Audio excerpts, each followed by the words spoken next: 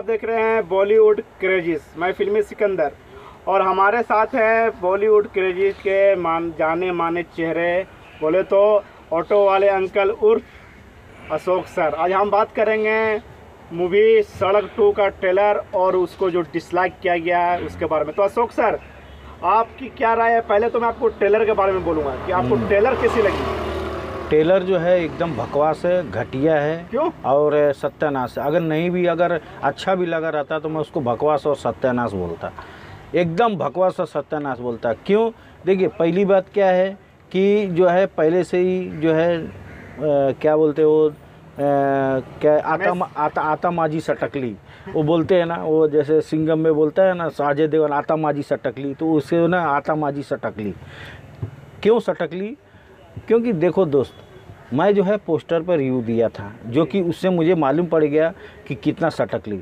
तो दोस्तों, पहली बात यह है कि टेलर जो है, टेलर अगर अच्छा भी रहता था तो भी मैं उसको भकवासी बोलता। क्यों मालूम है? क्योंकि जो है ना, महेश भट्ट ने जो है ना, अपना जो भी है मतलब उन्होंने अपना महल जो है, कांच का महल, शीश महल, जो भी हो मतलब सोने का महल, वो जो है उन्होंने अपना गिरा दिया है।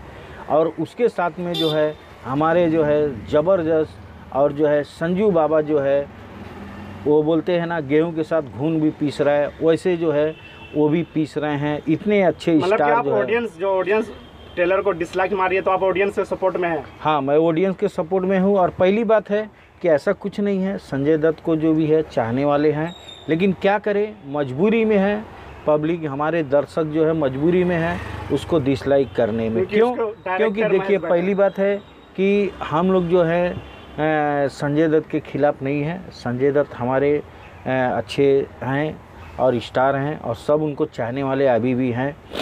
जो कि देखिए अब इसमें जो है पहली बात है कि संजय दत्त को इतना ये ये नहीं था कि जो है महेश भट्ट की जो है महेश भट्ट जो है ऐसा कुछ है मतलब जो है यहाँ पे जो है सत्तर के दशक में जा कर के और जो है ये कारनामा करेंगे जो कि उनके भी कैरियर पे फ़र्क पड़ेगा। जो कि संजय दत्त अभी इसके साथ अगर ये मूवी का जो है डिसलाइक हो रहा है और किसके वजह से? महेश भट्ट के वजह से। तो महेश भट्ट के वजह से अगर डिसलाइक हो रहा है तो इसमें संजय दत्त की भी नुकसान है।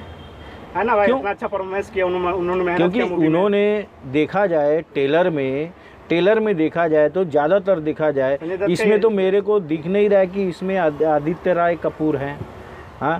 आलिया भट्ट। हैं और चाहे कोई विलन है मुझे तो सिर्फ़ इसमें संजय दत्त ही दिख रहे हैं जो कि जितना भी जो भी काम है संजय दत्त का ही है लेकिन ये मूवी जो है चाहे सुपर डुपर हिट रहे चाहे कुछ भी हिट रहे लेकिन पब्लिक जो है दर्शक जो है इसको डिसलाइक ही करेगी इसको कुछ एक्सेप्ट नहीं करेगी चाहे कुछ भी हो जाए क्योंकि पब्लिक के जो है ना जब वो बोलती है ना पब्लिक जब है ना हल्ला बोल करती है ना तो बहुत ज़ोर से हल्ला बोल करती है और जो हथौड़ा बहुत ज़ोर से मारती है। दोस्तों तो मैं यही चाहूँगा कि आप लोग जो है आप लोग के फेवर में ऑटो वाले अंकल हैं और जो है मैं बस यही चाहूँगा कि आप लोग जो है हमेशा ऑटो वाले अंकल के चैनल के साथ भी बने रहें और लाइक सब्सक्राइब और शेयर करते रहें।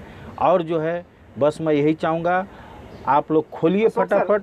हाँ जाते बोलिए। जाते लास्ट में मैं एक सवाल पूछना चाहता हूँ।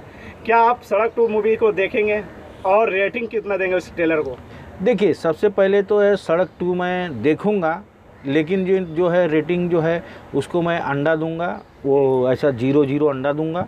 और दूसरी बात है, और मैं जो है सिर्फ़ जो है खाली संजय दत्त को जो है चार स्टार दूँगा।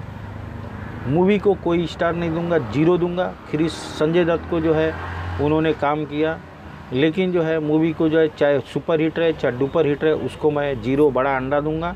बस मैं यही चाहूँगा दोस्तों कि जो है आप लोग जो है जो भी कर रहे हैं ठीक कर रहे हैं डिसलाइक कर रहे हैं कीजिए और फटक से बटन दबाइए और डिसलाइक का जो है भंडार लगा दीजिए और इतना भंडारा लगा दीजिए कि दिलवाले दुल्हनिया ले जाएगी। हर एक हर एक इसका जो है सब लोग सुपर डुपर हिट होते हैं तो और ये नहीं डिसलाइक में जो है इतना इतना रिकॉर्ड टूट जाए इतना रिकॉर्ड टूट जाए कि आज तक कोई भी रिकॉर्ड तोड़ ना पाए। और जो है महेश भट्ट की जो है जो भी उनकी महल है उनका जो है फटाक से अभी तो गिरना तो चालू हो गया दोस्त। अब तीन चार दिन के बाद मालूम नहीं क्या हाल होगा। बस बाय